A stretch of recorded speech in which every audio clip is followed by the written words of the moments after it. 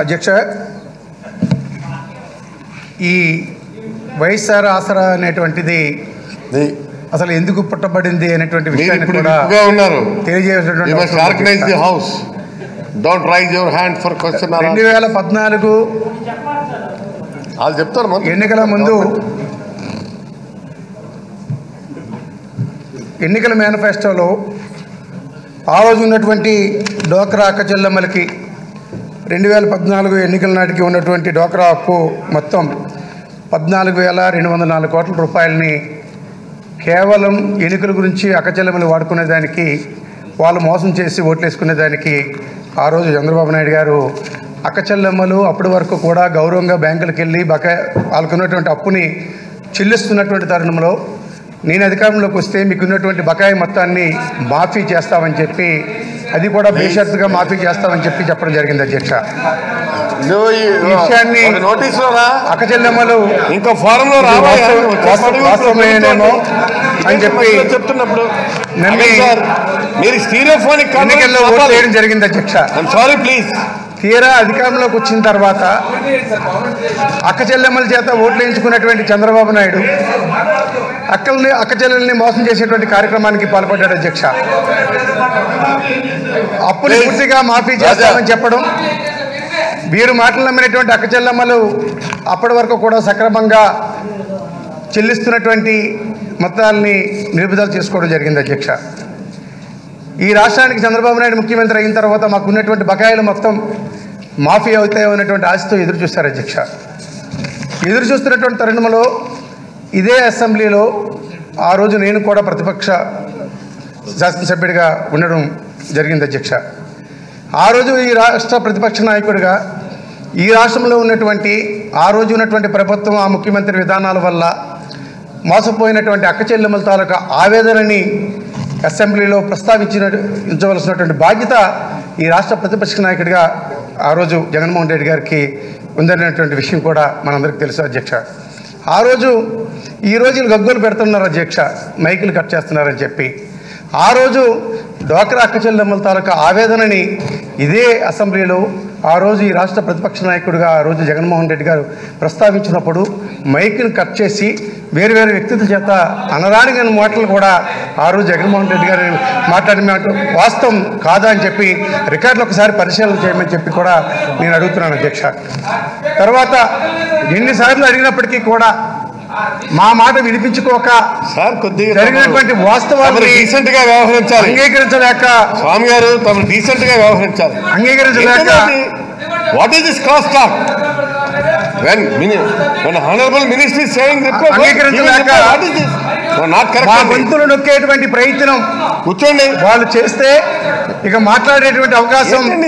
ఈ శాసనసభలో మాకు ఇచ్చేటువంటి పరిస్థితి కనిపించలేదు కాబట్టి వాస్తవాల్ని ప్రజల దగ్గరికి తీసుకొని వెళ్ళి ప్రజల తాలూకా కష్టాన్ని తెలుసుకొని మరలా వచ్చే ఎన్నికల నాటికి ఈ రాష్ట్రంలో వైఎస్ఆర్ పార్టీ అధికారంలోకి వస్తే అక్క చెల్లెమ్మల తాలూకా ఏదైతే బాధలు ఉన్నాయో అవన్నీ కూడా తీర్చాలనేటువంటి మాట మీద ఆ రోజు ఇడిపిలబాయి దగ్గర నుంచి పాదయాత్ర ప్రారంభించి ఇచ్చాపురం దాకా మూడు వేల ఆరు ఆరు వందల నలభై ఎనిమిది కిలోమీటర్లు పదమూడు జిల్లాల్లో కూడా అన్ని ప్రాంతాల్లో తిరిగేటప్పుడు గడిచినటువంటి ఎన్నికల్లో చంద్రబాబు నాయుడు ఇచ్చినటువంటి హామీల వల్ల మోసపోయినటువంటి అక్క చెల్లెమ్మలు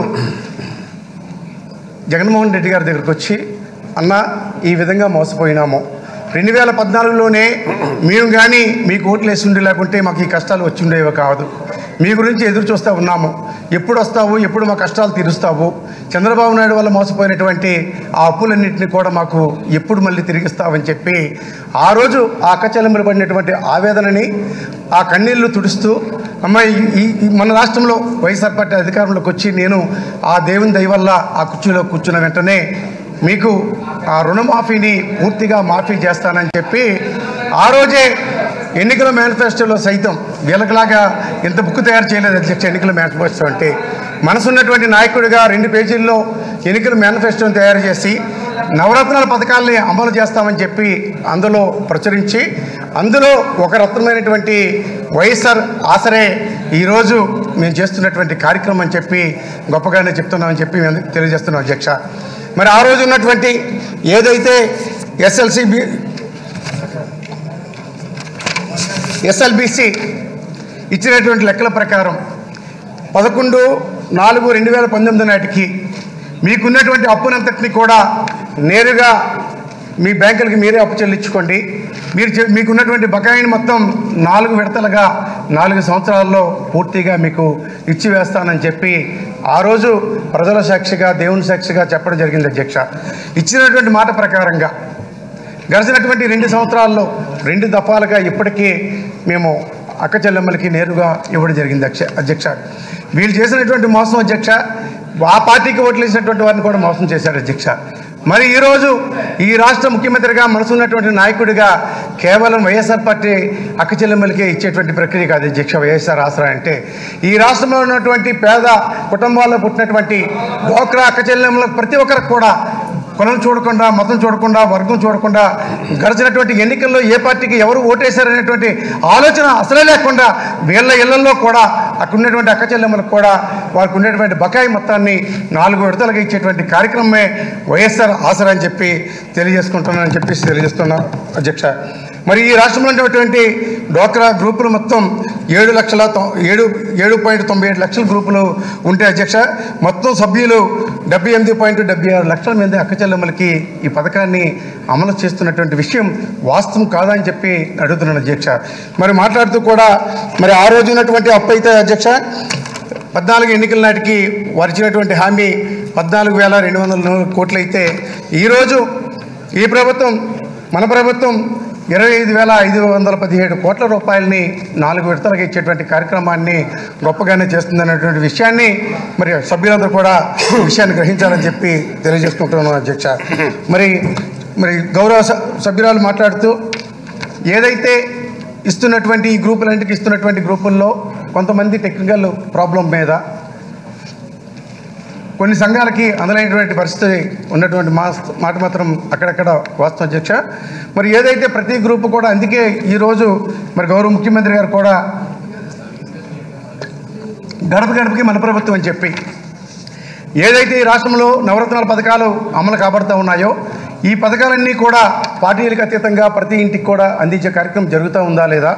ఎక్కడైనా సరే వివ వివక్ష చూపించినా టెక్నికల్ ప్రాబ్లం వచ్చినా వాటిని వెంటనే సరిచేసే కార్యక్రమంలో భాగంగానే ఈరోజు ప్రతి శాసనసభ్యుని కూడా ప్రతి ఇంటికి వెళ్ళేటువంటి కార్యక్రమాన్ని కూడా ప్రారంభించారు ఉద్దేశంగా గ్రామాలకు వెళ్ళేటప్పుడు కానీ ఆ ఇంటి గడపకి వెళ్ళేటప్పుడు కానీ ఏదైతే టెక్నికల్ ఇష్యూస్ మీద ప్రాబ్లం ఉండేలాగా ఉంటే వెంటనే అక్కడి నుంచే నేరుగా సీఈఓ గారికి ఫోన్ చేసి మరి ఆ ఏదైతే ఆ గ్రూప్ ఉందో ఆ గ్రూప్ తాలూకు డీటెయిల్స్ అన్నీ కూడా పంపించడం. మరి మనమన్ననే మరి చాలా దగ్గర కూడా అటువంటి గ్రూపులు ఎక్కడైతే ఉన్నాయో వాళ్ళకు కూడా త్వరితగతిని వాటి పేమెంట్ కూడా ఇచ్చేటువంటి కార్యక్రమాన్ని కూడా చేస్తున్నాం అధ్యక్ష. ఎక్కడా కూడా రాష్ట్రంలో ఉన్నటువంటి ఇరవై ఆరు జిల్లాల్లో ఉన్నటువంటి ఏ గ్రామంలోనైనా ప్రతి ఇంటికి కూడా తొందరలోనే ప్రతి శాసనసభ్యుడు కూడా ప్రతి ఇంటికి వెళ్ళేటువంటి మాట వాస్తవం అధ్యక్ష. ప్రతి ఇంటికి వెళ్ళేటప్పుడు ఏ సమస్య అయితే ఆ గౌరవ శాసనసభ్యుల దృష్టికి వస్తుందో వెంటనే యుద్ధ ప్రాతిపదిక మీద కూడా ఆ సమస్యలు పరిష్కారం చేయమని చెప్పి ఇప్పటికే స్పష్టమైనటువంటి ఆదేశాలు గౌరవ ముఖ్యమంత్రి గారు ఇవ్వడం జరిగింది అధ్యక్ష. అందులో భాగంగానే ఒక్క ఈ డోక్రా అక్కజలములకే కాదు ఎటువంటి కార్యక్రమాలైనా కూడా మేము ఇచ్చేటువంటి కార్యక్రమం కూడా చేస్తాను అనే విషయాన్ని కూడా తెలియజేయడం జరుగుతుంది అధ్యక్ష. మరి వైఎస్ఆర్ ఆశ్రయనే కాదు అధ్యక్ష. మరి అక్కజల్లమ్మల్ని ఎంత ఘోరంగా మోసం చేశారంటే అధ్యక్ష ఆ- ఆ ప్రభుత్వంలో సున్నా వడ్డీ సుమారుగా మూడు వేల ఐదు వందల కోట్ల రూపాయలని సున్నా వడ్డీ ఎగ్గొట్టినటువంటి ఘనత కూడా వాళ్ళది అధ్యక్ష. మరి ఈ రాష్ట్రంలో వైఎస్ఆర్ పార్టీ ప్రభుత్వం ఏర్పడిన తర్వాత ఈ రాష్ట్రానికి గౌరవ ముఖ్యమంత్రి గారు జగన్మోహన్ రెడ్డి గారు ముఖ్యమంత్రి అయిన తర్వాత రెండు వేల పంతొమ్మిది ఇరవై గాను అధ్యక్ష పన్నెండు వందల యాభై ఎనిమిది కోట్ల రూపాయలని మొదటి సంవత్సరంలోనే ఈ రాష్ట్ర ముఖ్యమంత్రిగా ప్రమాణ స్వీకారం చేసిన వెంటనే ఇవ్వడం జరిగింది అధ్యక్ష. మరి రెండు వేల ఇరవై ఇరవై ఒకటి అధ్యక్ష వెయ్యి తొంభై ఆరు కోట్ల రూపాయలని సున్నా వడ్డీ కింద ఇవ్వడం జరిగింది అధ్యక్ష. రెండు వేల ఇరవై ఒకటి ఇరవై రెండు సంవత్సరాలకు గాను పన్నెండు వందల అరవై ఒక్క కోట్ల రూపాయలు సున్నా వడ్డీ కింద ఇవ్వడం జరిగింది అధ్యక్ష.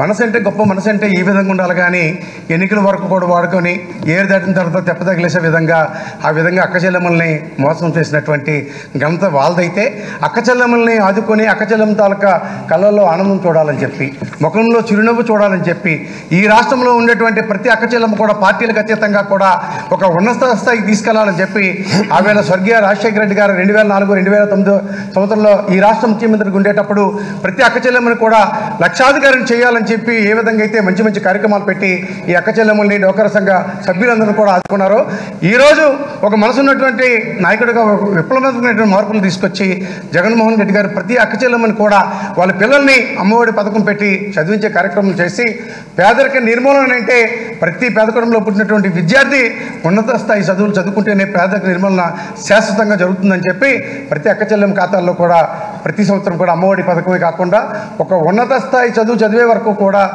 ఫీజు రెంట్ని కూడా ఫీజు రింబర్స్మెంట్ ద్వారా అన్నగారే చెల్లించి ప్రతి కుటుంబం కూడా విద్యలో ముందుండేలాకుంటే ఆర్థికంగా కూడా ముందు ఉంటుందని చెప్పేసి ఇటువంటి విప్లవాత్మకమైనటువంటి మార్పులు తీసుకొచ్చినటువంటి ఘనత ఈ రాష్ట్ర ముఖ్యమంత్రి జగన్మోహన్ రెడ్డి గారితో అని చెప్పి తెలియజేసుకుంటున్నాను అధ్యక్ష.